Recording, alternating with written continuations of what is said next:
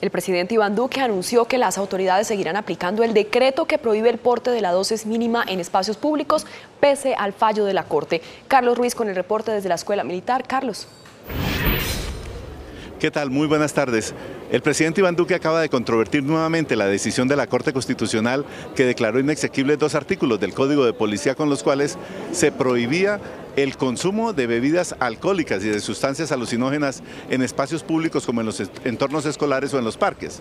El primer mandatario, en una ceremonia aquí en la Escuela Militar de Cadetes, dijo que el libre desarrollo de la personalidad no puede ser utilizado para el libre desarrollo de la drogadicción.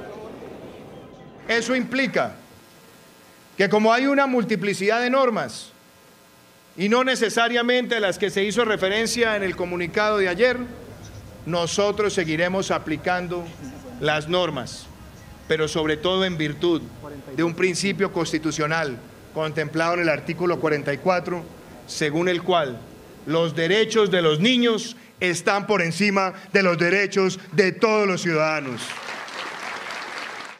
En consecuencia, el decreto que prohíbe el porte de la dosis mínima y el consumo de estupefacientes en los entornos escolares o también en los parques públicos seguirá siendo aplicado por la Policía Nacional, dijo el presidente Iván Duque. Con Carlos Ruiz desde la Escuela Militar de Cadetes en Bogotá, CMI La Noticia.